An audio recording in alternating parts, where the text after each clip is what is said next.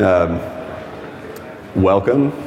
I'm going to get up here and talk a little bit about uh, some research I've been doing on uh, LTE emissions. Um, not so much looking at, at, protocol or data, but just uh, what can we see flying around in the air. And uh, I'm going to do it with RTL SDRs. Uh, a couple of people that have made this, uh, this talk happen or this story happen. Um, a few years ago, Melissa Elliott did a talk at DEF CON 21 on uh, crazy stuff in the noise floor that she was exploring with RTL SDRs. And uh, when I saw that talk, that inspired me to uh, take up that research on you know, what fun bits of data are flying around there. Um, also, uh, Juha Vierinen, um, if if you're here, I'd love to talk to you and shake your hand. Um, this guy's done a tremendous amount of research on fixing a lot of the uh, clock drift problems when you're trying to synchronize two RTL SDRs. Um, I used everything that he did to get to where this talk is. Um, so we're going to go down this road. Um, it's going to wind a lot of uh, a lot of different places. Start with a little bit of history on direction finding, uh, on radio exploitation, uh, just straight RF. Why do we care? Um, I'm going to give you a quick primer on time of arrival direction finding. Um, then I'm going to talk about why the uh, RTL SDR is a terrible um, radio. and then uh, go over some of the processes I'm using to do direction finding with uh, RTLs. Um, so, you know, here we are, we have a boat in the water that's really hard to see. Um, you know, you're a 1940 Battle of the Atlantic, World War II. Um, how do we find the U-boats? Uh, they have these antenna masts on the top that occasionally, when they pop out of the water, uh, emit signals. Um, those signals are, you know, encoded messages, encrypted messages, but they are still RF emissions. Uh, anyone can pick them up. You don't have to be able to decrypt them to, uh, you know, put up your antenna and receive that data. Um, so then we get a whole lot of these guys. They put cans on their head and they turn a whole bunch of knobs and try to figure out uh, what the position of that signal is through a few different kinds of techniques um, using very expensive, very large equipment. Uh, the wavelengths on um, these transmissions were huge.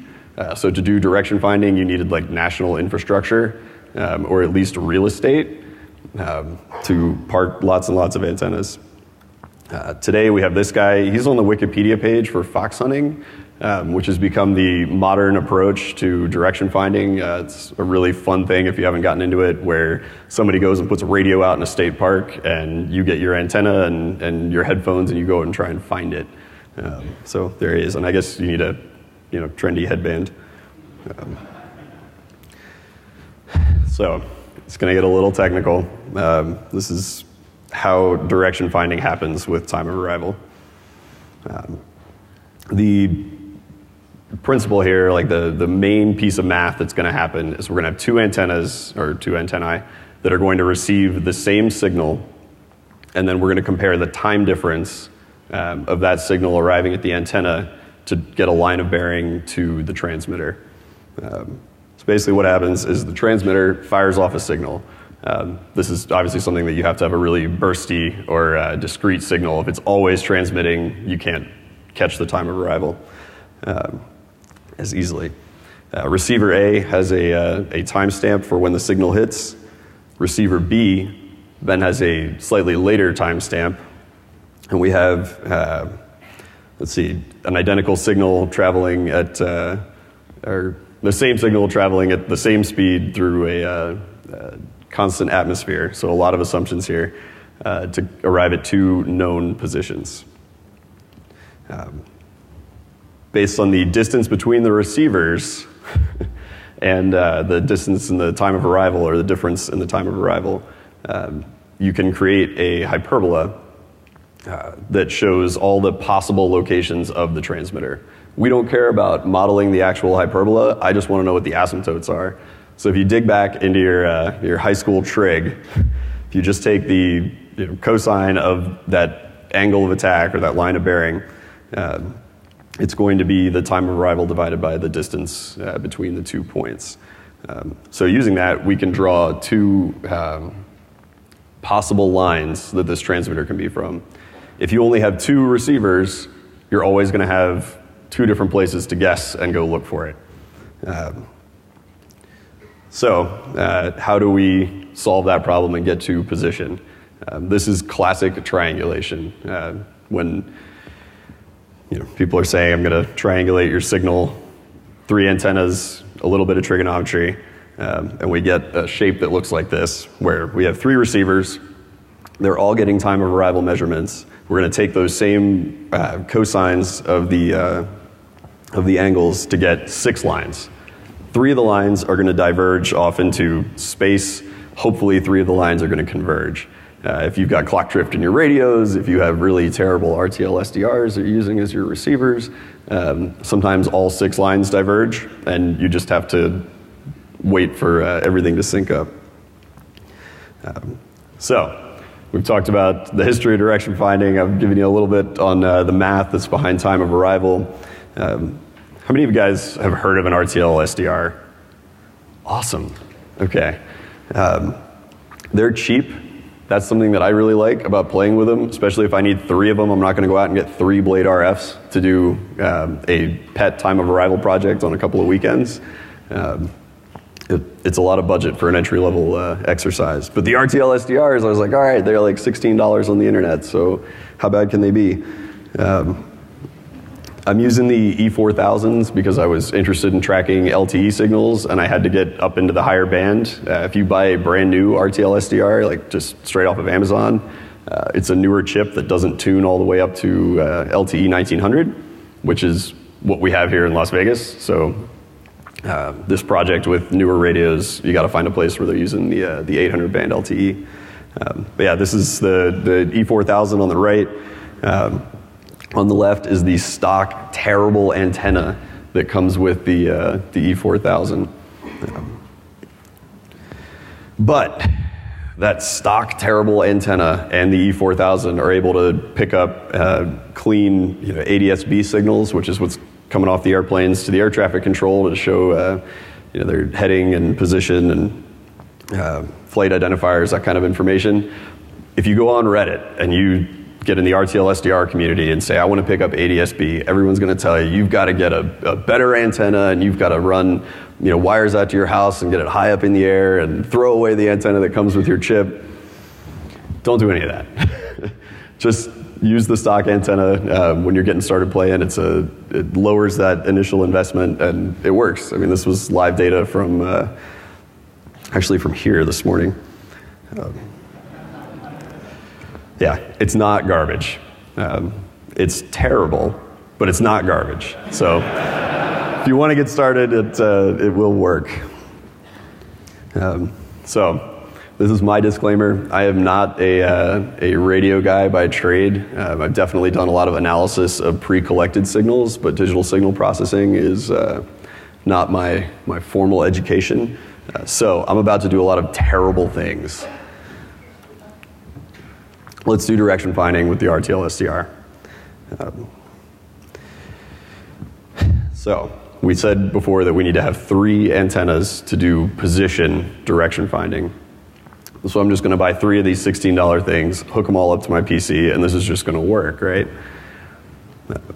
There's, there's my uh, RTL SDR. I'm going to replace each of the transmitters in my original diagram, or sorry, each of the receivers with RTLs.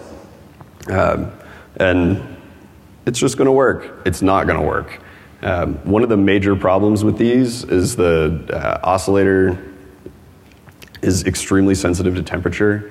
Um, if you have like a fan blowing near your computer and you have two RTLs sitting next to each other and one's getting the fan more directly than the other, your center frequencies can start to drift um, very quickly, which breaks time of arrival.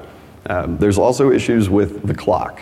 Um, because they're coming in over USB, if you try to sync two of these devices on the system with the CPU, there's bus lag from the USB, uh, there's clock drift across the devices, the temperature sensitive oscillator is just going to break down all your calculations.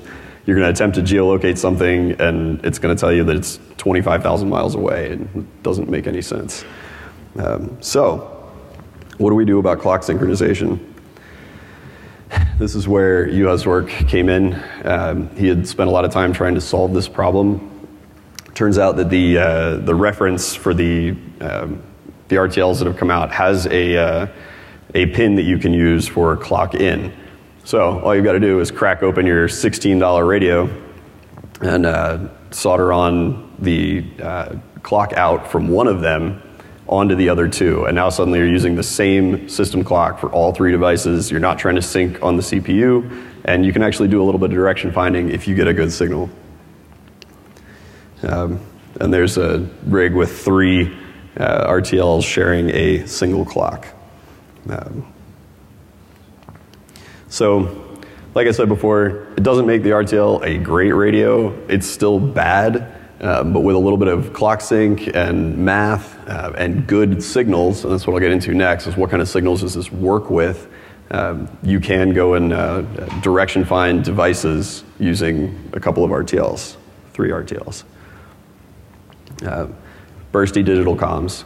This is where it works, uh, and this is where we get into why I chose LTE.